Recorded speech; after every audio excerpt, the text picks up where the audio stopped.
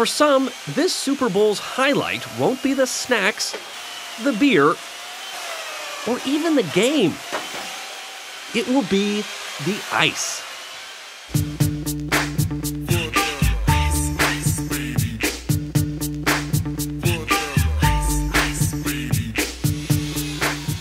At Ice Sculpture Designs, the nation's second largest ice carving company, they've made more than 30 sculptures for game day parties.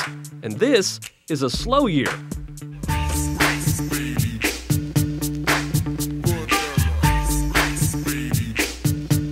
There is something about ice. Whether cut, cubed, crushed, cloudy, or clear, its crystals glisten and glow like a thousand tiny prisms. It can evoke old Hollywood glamour, like in this commercial.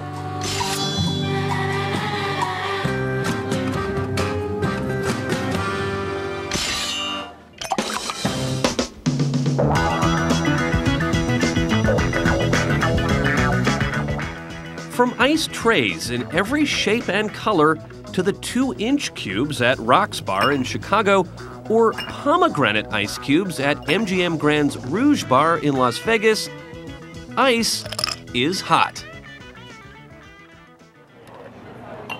If you go to the boutique cocktail bars, which are kind of at the cutting edge of drink technology these days, they're all about the ice and they're keeping uh, all their glasses frozen and everything is cold, cold, cold, cold, cold. And you know, that's not such a bad thing because it makes for a better drink. But it wasn't always this way. David Wondrich, drinks editor at Esquire and author of the book Imbibe, says ice used to be for a chosen few. Ice was always something that rich people had in Europe, going back even to, to Roman times. They would bring snow down from the mountains around Rome to cool the emperor's wine. According to Wondrich, we're in the midst of a great American ice age.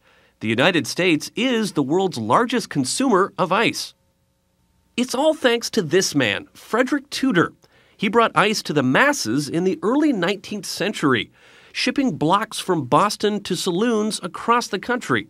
The first time his salesman would come in and say, We'll give you some free ice, sell your ice drinks for the same price as the warm ones, and see what happens and everybody would want ice drinks from then on, and it cost pennies a pound.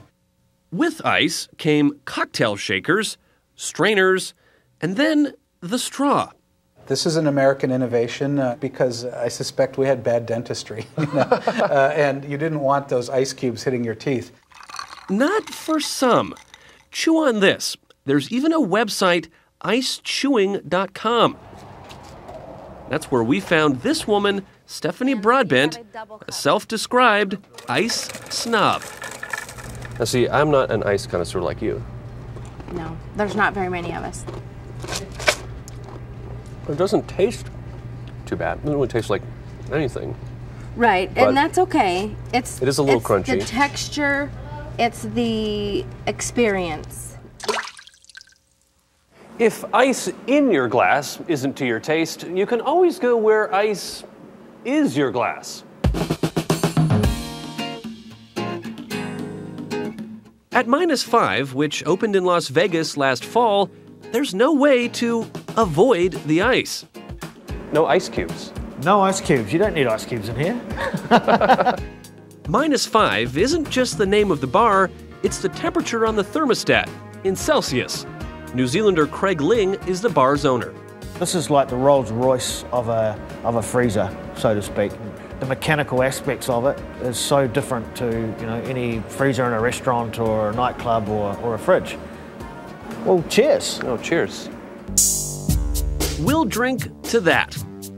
And no matter how you like your frosty cold beverage, drink up.